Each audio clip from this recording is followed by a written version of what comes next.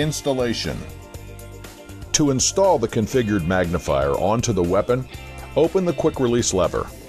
Place the mount in the desired position behind the HWS. Once the mount is located in the desired position, push the magnifier forward until the alignment tabs of the magnifier are set into the slot located on the mount.